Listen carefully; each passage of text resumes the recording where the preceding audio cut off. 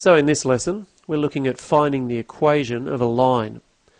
Now the equation of a straight line, we use the formula y equals mx plus c.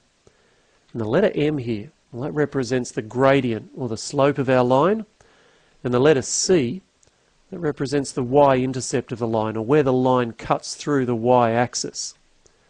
So let's have a look at an example of this. Here we're asked to find the equation of the line given to us in our diagram here. So let's use our formula, y equals mx plus c. The first thing we'll work out is this m here, or the gradient of our line. We'll use the formula rise over run to calculate that. So let's go to our diagram now. We'll make a right angled triangle there out of the x and y intercepts. Before we do any calculating of values though, have a look at our line. What do you notice about the way that it's sloping? It's going uphill, isn't it, when we go from left to right? So we'd say that that has a positive gradient. Really important to note that before we start working out any values.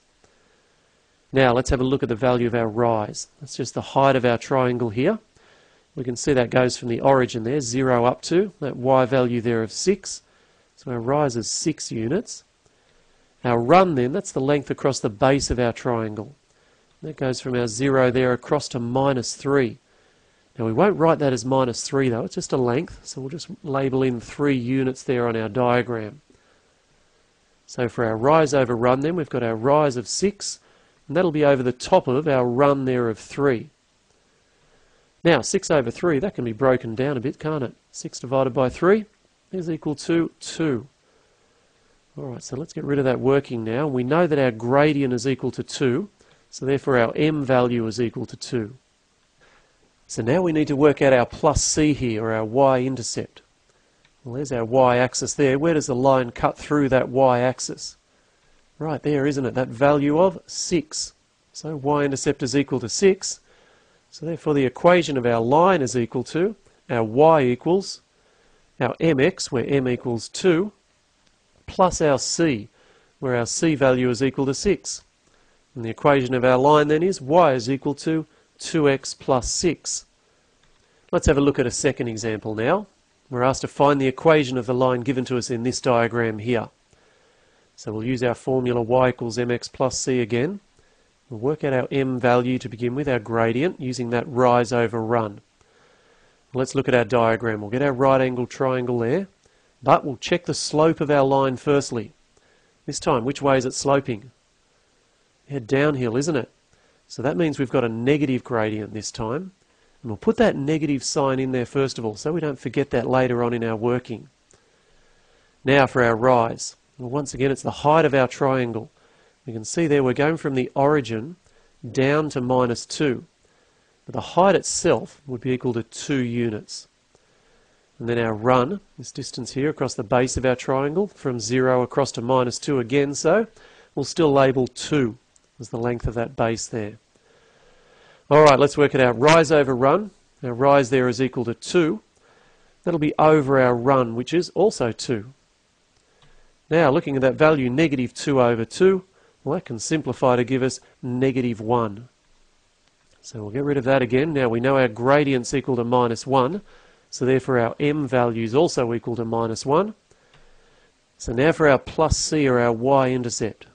Well, there's our y-axis there, and there's the point where the line cuts through it. So our y-intercept is minus 2. So the equation of our line then, we get our y is equal to, now our mx.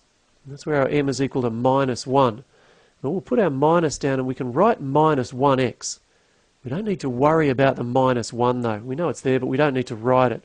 So we'll just leave that as minus x. And then our plus c, well our y-intercept is minus 2 giving us the equation of the line y equals minus x minus 2. Let's look at a third example here. We're asked to match each equation with the correct table of values.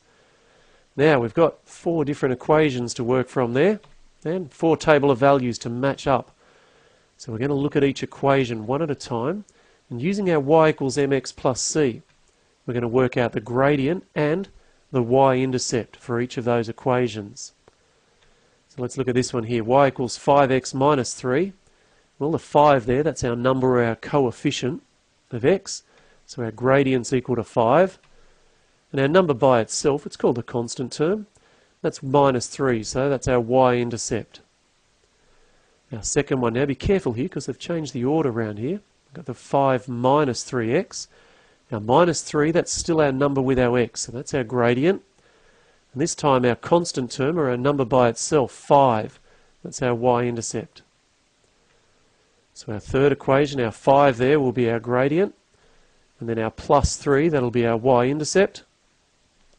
And for our fourth one, our 3 here will be our gradient, and our plus 5, that'll be our y-intercept.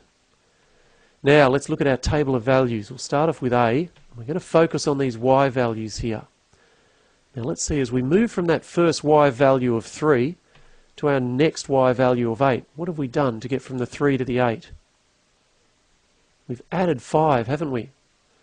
Let's just check the next value as well to get from 8 to 13. We've added 5 again.